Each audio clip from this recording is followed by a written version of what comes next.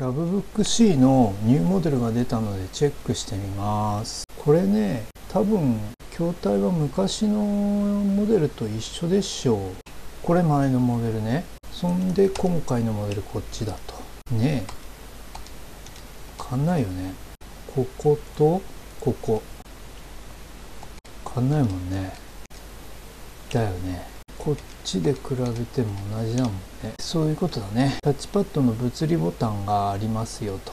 じゃあその前モデルとどう変わったのかというと仕様ですね。セレロンの N2940 になったよと。クワッドコアになっちゃいましたよとうとう。ちなみに前は N の2840ね、えー、デュアルコアでしたよと。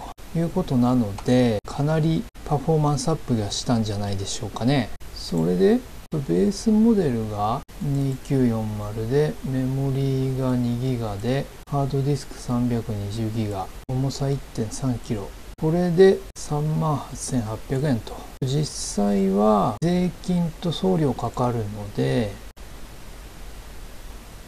これね45,144円だけれどもまあかなり安いんじゃないでしょうかね。ただしねメモリ 2GB っていうのはちょっともったいないな。せっかくこのクワッドコアの N2940 積んでるんだから2ギガだとせっかくのパフォーマンスが死んじゃうような気すんだよな。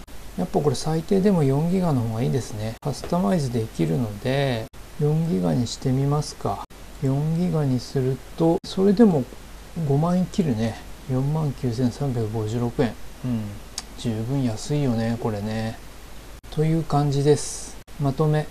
こんな感じで結構いけてるモデルだと思うんですけれども1点だけ気にかかるところがあるんですよねそれはこのビデオで報告した通りタッチパッドのドライバーがねちょっと変なんだよねパームチェックの機能がついてるのはいいんだけどそれをおることができないんですよ。パームチェックの秒数も設定できないしね。これって非常に不便なんですよ。ただし、このラブブック C ってね、えー、ずいぶん前のラブブック C で今の筐体とは別の筐体を採用してた時のモデルなんですよ。筐体が新しくなった時にこれが治ったのかどうかっていうのはちょっと確認してないんですよ。お店でそのうち確認してみようかなとは思ってます。